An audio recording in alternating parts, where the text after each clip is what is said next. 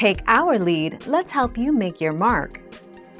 Our goal is your satisfaction. Let us show you the way.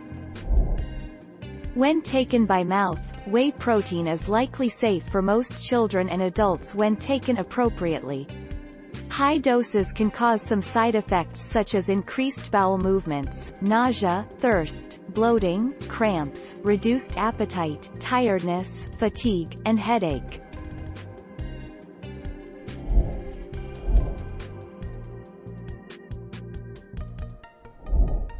Take our lead.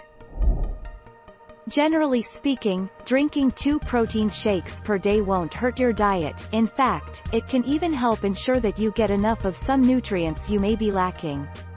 However, most dietitians and nutritionists agree that solid foods are preferable to those consumed as a liquid.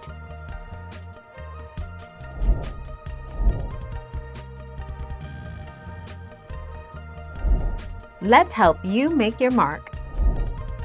Protein shakes may cut sperm count in the same way as illegal anabolic steroids, experts claimed today. Ingredients in the drinks and powders are said to impede the body's ability to release the hormones that produce sperm. 6 March 2018.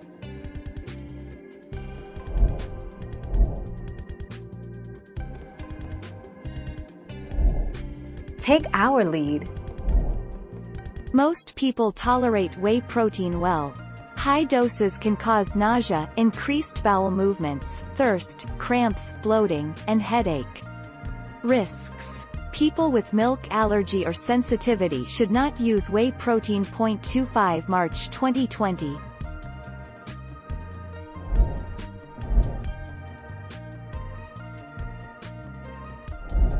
Let's help you make your mark.